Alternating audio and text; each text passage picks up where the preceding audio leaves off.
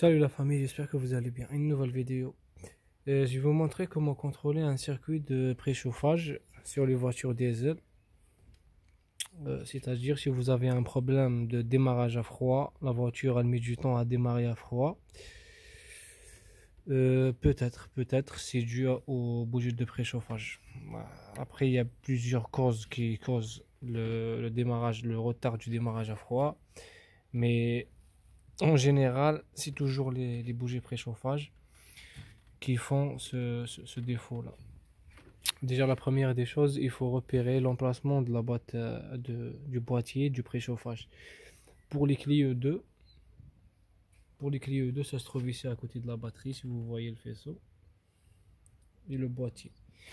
Moi, je vais vous montrer comment contrôler le circuit de préchauffage en général après, c'est à vous de trouver, de repérer le, le boîtier.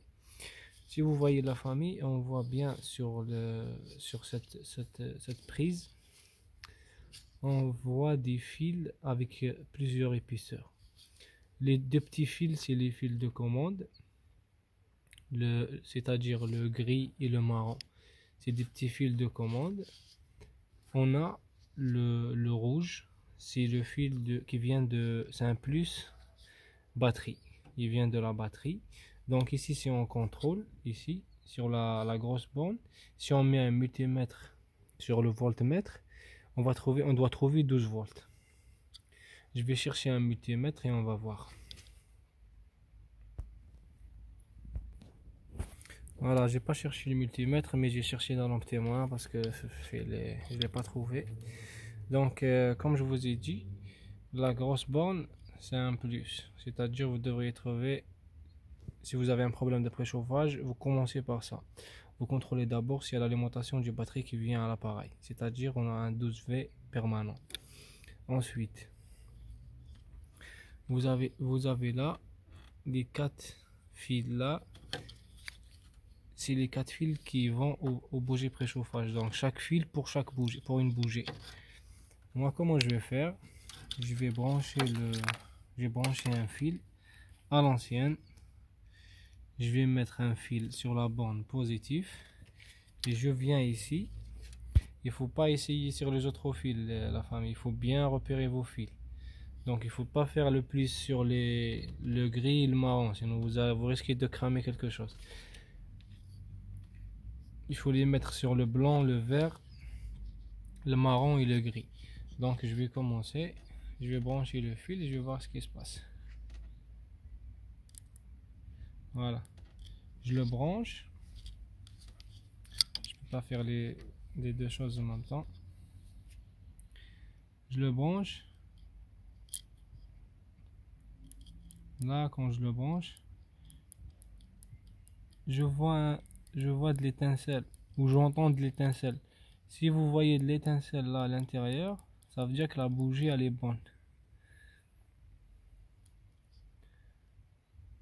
On contrôle aussi la deuxième.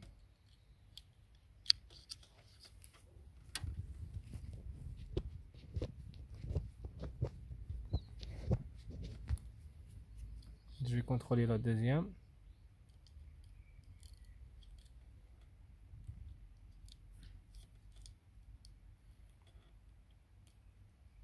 La famille, la deuxième, elle répond pas.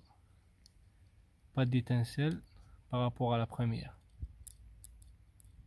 Celle-là, si vous arrivez à voir avec la caméra, il y a de l'étincelle. Celle-là, il n'y a pas d'étincelle.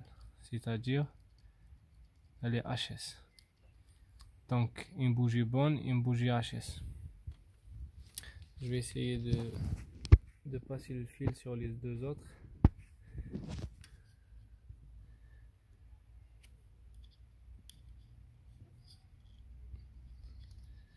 Celle-là elle est bonne.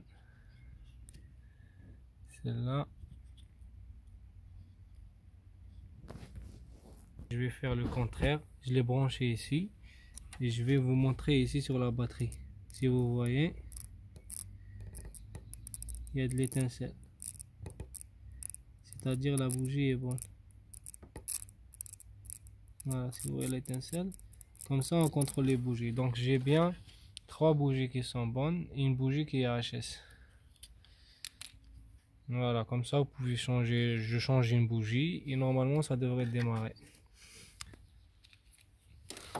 Je vous dis merci à tous.